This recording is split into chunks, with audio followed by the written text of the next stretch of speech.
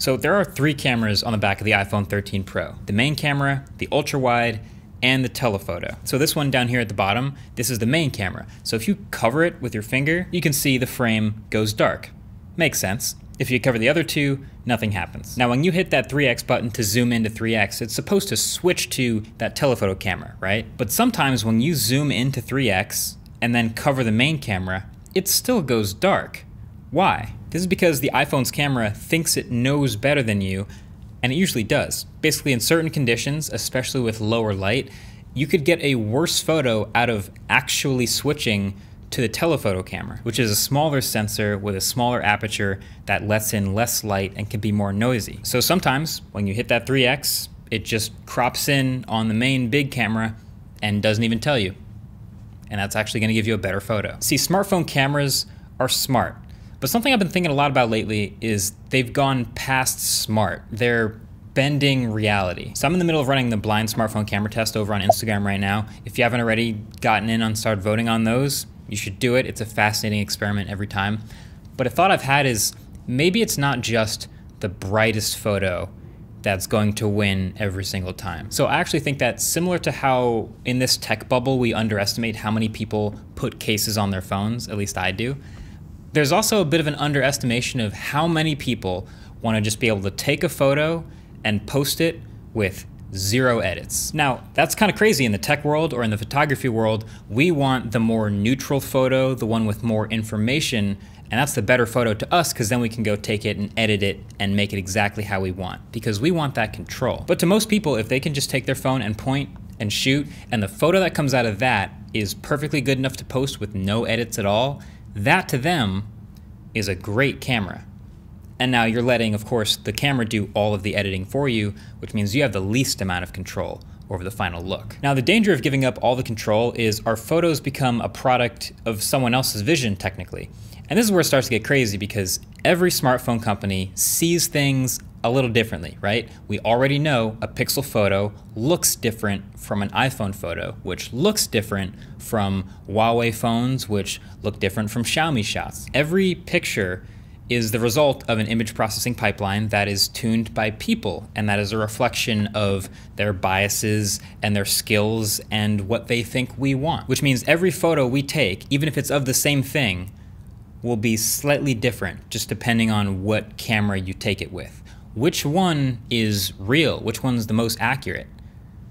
Maybe it doesn't matter. In 2019, the Huawei P30 Pro came out. It had a pretty solid set of cameras. It was a flagship phone, of course, so people went out and tested its limits. And pretty quickly, something sort of fishy came up. So when you went outside at night and pointed the new periscope zoom camera at the moon and zoomed all the way in, the camera would recognize the moon and suggest you turn moon mode on. And people started doing this and posting their results, and everyone's pictures of the moon looked surprisingly similar. Now, maybe I shouldn't be shocked. I mean, we're all taking pictures of the same moon, but have you ever tried to take a picture of the moon with your camera on your phone? It's usually just a, a blob. It never looks that good. And these all looked really good. Maybe a little too good. And that's what Android Authority concluded with enough samples. They believe that Huawei is using AI to not just recognize that you're taking a picture of the moon, but also to then superimpose a stored image of the moon and merge it onto your photo. Now, at first glance, that's pretty crazy, but that's also kind of clever because the moon is tidally locked with the Earth, meaning one rotation takes the same amount of time as one orbit. So one face of the moon is always pointing towards Earth. So you only see one side of the moon all the time, meaning it's always going to look the same, and you only need one stored image of the moon to superimpose over everyone's photos. So maybe that's not so bad. But Huawei denied this, of course.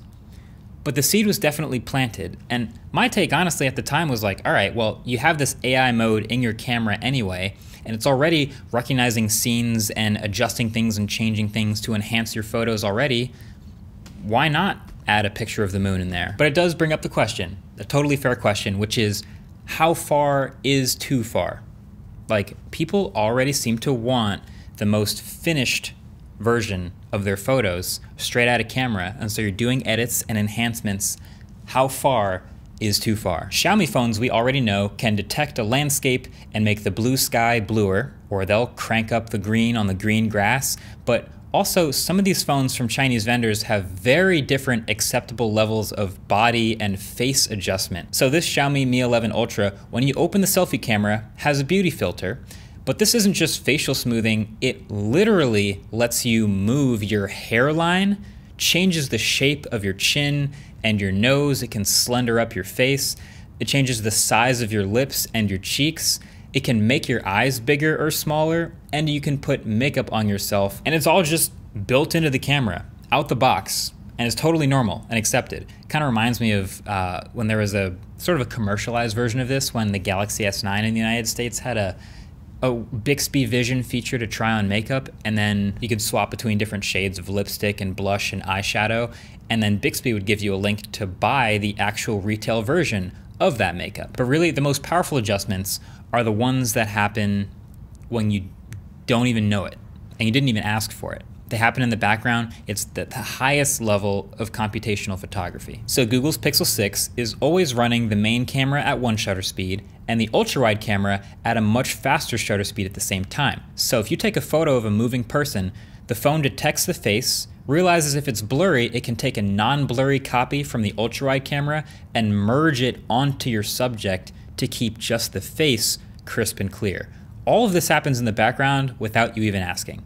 There's also already a feature in FaceTime on iPhones called eye contact that moves your pupils to make it look like you're making eye contact with the camera, even though you're not. You're looking at the screen below the camera. But it's pretty eerie and slightly creepy, and it works a little too well but at least you can turn it off. And I could swear this is a feature somewhere. I, I, must have been imagining a keynote, but I can't find it anywhere. So I'm gonna predict that this feature will exist at some point in some phone, probably in something like a Pixel first. Imagine you're taking a group selfie shot, there's a bunch of people with you, you hit the shutter button, and almost everyone has their face not blinking and smiling, but at different moments, everyone has sort of their ideal face.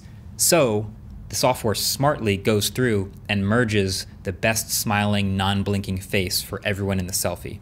Doesn't even tell you, just does it in the background. We've actually seen versions of this working our way up to this feature. So, believe it or not, in 2012, an Nokia Lumia phone had a selfie mode where you'd hold for five seconds, and then after the shot, you could scroll between five different faces of selfies to pick which one you like the best. So it sounds crazy, but that's the thought I've been having is this is the direction smartphone cameras are going, which is as computational photography gets better and better and we're merging more and more things in, eventually these cameras are outputting captures of moments in time that never really happened. So it's easy to see a, a future where smartphone cameras just recognize all kinds of things. Like AI mode right now is pretty basic. It'll see a sunset and make the oranges brighter. But maybe it'll start recognizing all types of objects you're uh, you're in front of a popular Instagram wall in Santa Monica somewhere, and it notices you take a picture in front of it. It's like, oh, I have a downloaded picture of that in our database, and it just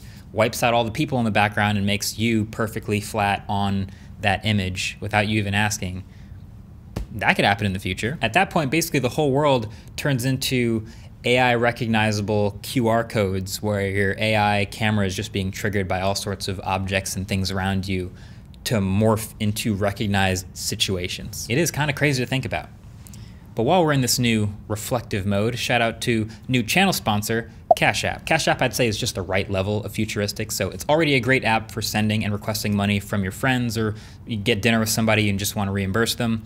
That's easy. But you can also buy stocks or buy Bitcoin with it. So if you haven't already signed up, feel free to use the link below or my code Marques, and 15 bucks will just appear in your account. You're welcome.